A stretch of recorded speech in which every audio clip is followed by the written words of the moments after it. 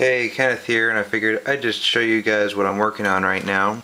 Is I have a uh, surface mount breakout board. Is it's from uh, SOIC 28 out to two sets of uh, 0.1 inch header.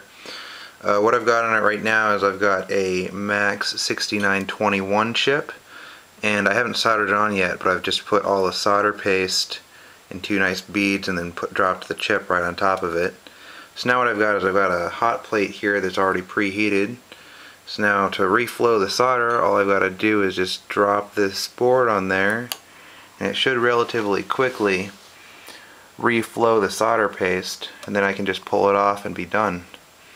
Uh, this is quite a bit easier than trying to use a, like a soldering iron and you know rosin core solder because with this you just gotta it, it comes in a nice little syringe like this so you just run it out in two beads and then drop the chip on, heat the whole thing, and uh, it all just flows in and it's nice and pretty.